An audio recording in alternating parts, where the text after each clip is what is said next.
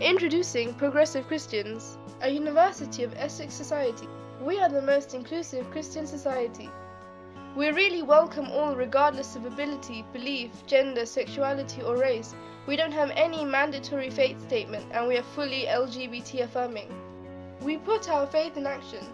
There are many ways to help people through us. Collect food for the Colchester Food Bank, volunteer with us, or learn about groups you can join, or help us raise money for our charity of the term. We love discussion.